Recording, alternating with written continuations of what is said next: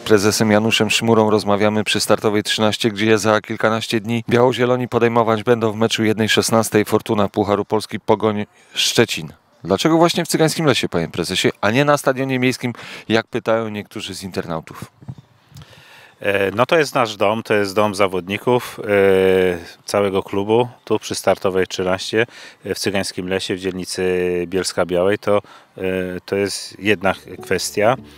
No, przede wszystkim no, kwestie też ekonomiczne. Wynajem stadionu, wynajem ochrony obiektu, to łączne koszty gdzieś w granicach 75 tysięcy złotych, więc olbrzymie koszty, aby taki mecz móc rozegrać na stadionie miejskim. I rozumiem, nie do zrekompensowania ewentualnymi wpływami.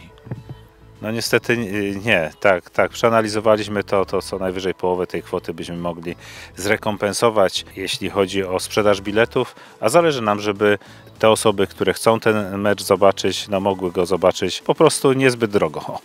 Są tacy, którzy utyskują na porę spotkania. To wtorek, przypomnę, 18 października, godzina 14.15.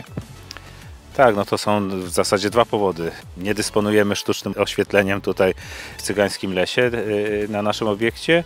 Mm, Natomiast drugi to jest taki, że ten termin został y, wyznaczony przez Polski Związek Piłki Nożnej. Będą transmisje telewizyjne y, lub y, na portalu Łączy Nas Piłka. Także ten termin został obligatoryjnie nam wyznaczony 14.15 we wtorek.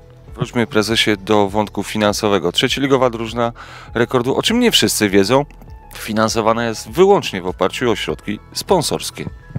No tak, jest tak od lat. My y, od samego początku istnienia y, tej podstawowej sekcji w, w naszym klubie, no jest y, ona utrzymywana z funduszy sponsorskich, no to przede wszystkim y, poprzez firmę Rekord Systemy Informatyczne.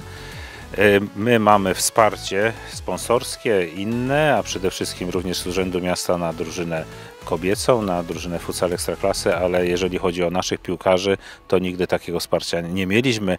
W związku z powyższym też nie mamy żadnych środków, chociażby takie, które by nam mogły y, pomóc y, w grze na stadionie miejskim. Zakończmy naszą rozmowę wątkiem stricte sportowym. Czy dla rekordzistów mecz 1-16 Fortuna Pucharu Polski ze szczecińską Pogonią to jest już sufit możliwości, czy tylko szczebel w drodze na Stadion Narodowy?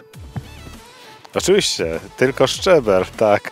E, Zdajemy sobie sprawę, że to jednak przyjeżdża tutaj drużyna ekstraklasowa i po- powiem więcej, świetna drużyna ekstraklasowa, bo samej czołówki e, naszych rozgrywek z bardzo dobrymi zawodnikami. Myślę, że będzie to frajda dla bielskich kibiców.